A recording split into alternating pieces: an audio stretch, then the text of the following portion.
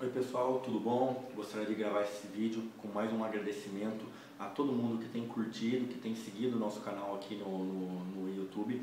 É, a gente hoje alcançou o número de 15 mil inscritos, isso é um número muito bacana, um número muito relevante é, e outro número muito relevante, a gente está passando já dos 200 vídeos no nosso canal. Então se, se esse é o seu primeiro vídeo que você tem assistido no nosso canal, entra lá no nosso canal e clica lá em mais vídeos que você vai ver todos os vídeos que a gente tem com vários temas. Tem muitos temas que a gente gravou, dois a três, quatro vídeos do mesmo tema. São informações relevantes, informações importantes que se complementam entre os vídeos. Tá? E sempre que você assistir um vídeo, por favor, gostaria de pedir para você dar um joinha se você gostou. Se você não gostou, dá um joinha para baixo, a gente entende e vai tentar melhorar cada vez mais os nossos vídeos. Tá ok, gente? Obrigado pela audiência, por todo mundo que tem, tem se inscrevido no nosso canal. 15 mil inscritos e mais de 200 vídeos no nosso canal.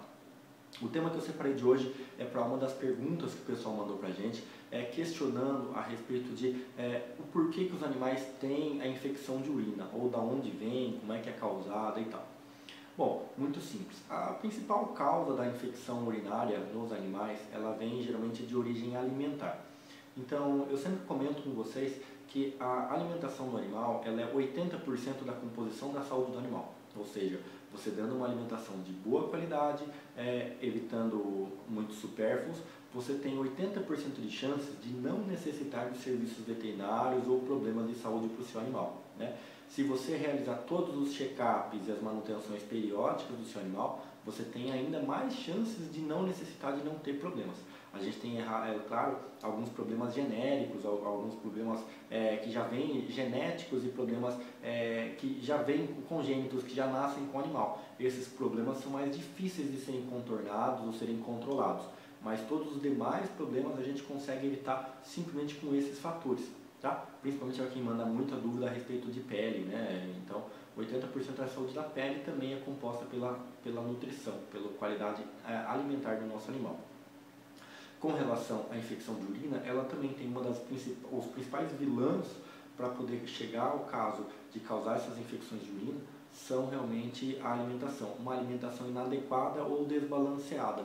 Né? É muito comum a gente atender um animal que tem uma alimentação desbalanceada ou principalmente composta por alimento humano, resto de comida, é, muitas comida, muita comida temperada, animais que comem muito petisco, principalmente aqueles, aqueles ossinhos, aqueles biscoitinhos ou bifinhos, são os principais causadores de, de desses, dessas alterações urinárias, né, da infecção de urina. Né. É, e também uma alimentação inadequada. A gente sabe que além de alimentos inadequados, a gente tem também algumas rações de baixa qualidade ou de má qualidade. A gente tem muitas dessas rações no mercado. Se você tem interesse em saber um pouco melhor sobre isso, a gente tem outros vídeos no nosso canal né, que vão falar, ajudar você a escolher uma boa ração, a melhor ração. Tá? É, então o intuito de hoje é realmente esclarecer para vocês que a infecção de urina ela tem maior causa delas é alimentar. Geralmente é, a alimentação pode ficar um pouco mais forte ou desequilibrada, fazendo esse animal ter poucos nutrientes é, ou mesmo ter muitos eletrólitos, muito sódio, muito potássio, muito fósforo, muito cálcio. E dependendo da composição desses nutrientes, esse desbalanceamento nutricional, pode acabar formando a presença de cristais ou mesmo cálculos na bexiga do seu animal. E aí essa composição é que vai acabar geralmente causando essa infecção urinária.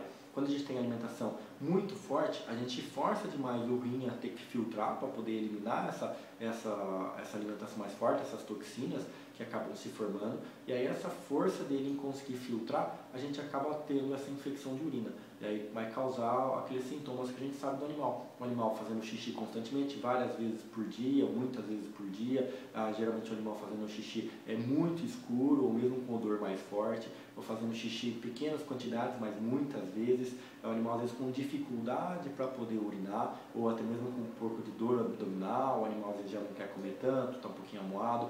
São os principais sintomas dessa infecção urinária. Tá? É, então a gente tem que ficar atento e se, se ligar muito com relação ao quadro alimentar do nosso animal, que esses são os principais causadores. Tá? A gente tem também a infecção urinária que vem de origem bacteriana, né? ou seja, de algum problema que possa ter acontecido, seja um trauma, uma briga, uma batida, é, que possa acabar causando essa infecção de urina também bacteriana, que podem vir desde a origem interna, de alguma coisa que o animal tenha comido e feito realmente muito mal, ou alguma doença que o animal esteja combatendo e realmente esteja um número muito alto de células inflamatórias que possa ir para rim, é, e fígado, rim, fígado e bexiga, né? ou mesmo outras alterações como eu relatei, por exemplo, presença de cálculos e cristais. Tá? Então, assim, essas são as principais causas. Então, já esclareci para vocês o que causa e como é que a gente vai fazer a correção disso. Então, se você se enquadrou com isso, relata também aqui embaixo nos comentários é o que você achou do vídeo e, e, e, relata a sua experiência. E se a gente conseguiu ajudar você em alguma coisa com esse vídeo, por favor, dá um joinha. Se você não gostou, dá um joinha para baixo, a gente entende e vai tentar conduzir o canal para melhorar cada vez mais com mais informações. Então, ok, gente? Obrigado pela audiência.